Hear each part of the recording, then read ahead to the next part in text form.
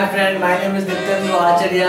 Today I am going to tell you how to make QB Martini. For QB Martini, what you want? 60 ml of vodka, 15 ml of triple sec syrup, 10 ml of lime juice and 15 to 20 ml of QB crush. You can use syrup also. How to make this cocktail? Take a shaker, add 5 to 6 of ice, add 60 ml of vodka, add 15 ml of triple sec syrup, syrup and add 10 ml of lime juice lime juice some more. And you have to add kiwi crush 15 to 20 ml of kiwi crush some more. Yes.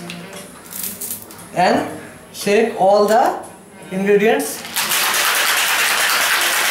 Okay, shake more time.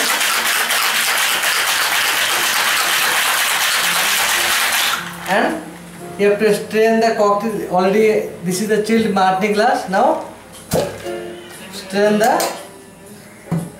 all ingredients. With the help of Hawaiian strain in a martini glass.